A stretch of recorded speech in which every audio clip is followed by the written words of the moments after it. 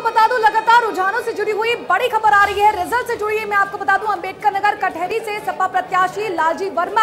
आगे हैं तो वही ठांडा से बसपा प्रत्याशी शबाना खातून आगे चल रही है रिजल्ट से जुड़ी बड़ी खबर आलापुर से सपा प्रत्याशी त्रिभुवन दत्त आगे है तो वही जलालपुर से बसपा प्रत्याशी राजेश सिंह आगे नजर आ रहे हैं तो लगातार जो उतार चढ़ाव देखने को मिल रहा है बिल्कुल तो, तो आगे पीछे का सिलसिला लगातार जारी और इस बीच सपा प्रत्याशी आगे हैं तो कहीं बसपा प्रत्याशी आगे हैं और